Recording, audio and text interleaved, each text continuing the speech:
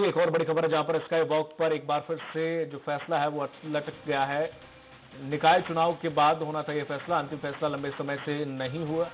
दोनों सुझाव समितियों की बैठक हुई और पीडब्ल्यूडी के अफसर भी कुछ बताने की स्थिति में नज़र नहीं आ रहे। ज़्यादातर विशेषज्ञ स्काई वॉक को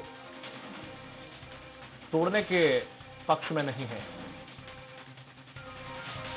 इसमें देखना होगा कि आखिर फैसला क्या आता है। एक बार फिर से लंबे समय से स्काई वॉक को तोड़ने का ज़िक्र किया जा रहा था, लेकिन अभी तक इसमें फैसला नहीं आ पाया है।